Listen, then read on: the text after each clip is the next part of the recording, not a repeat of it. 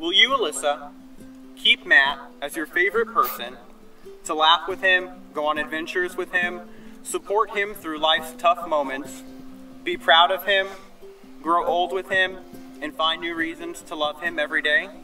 I do. I do. Will you, Matt, keep Alyssa as your favorite person, to laugh with her, go on adventures with her through life's tough moments, be proud of her, grow old with her, and find new reasons to love her every day? I do. I do.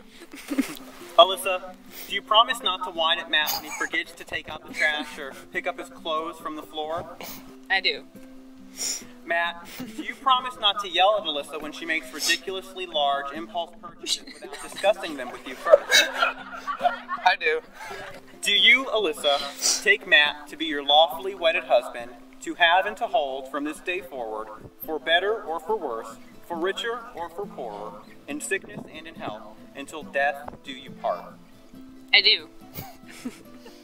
Do you, Matt, take Alyssa to be your lawfully wedded wife, to have and to hold, from this day forward, for better or for worse, for richer or for poorer, in sickness and in health, until death do you part?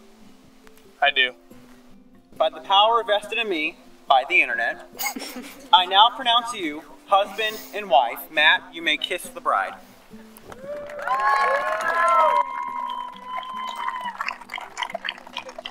It is my great, my turn, guys. Thank you.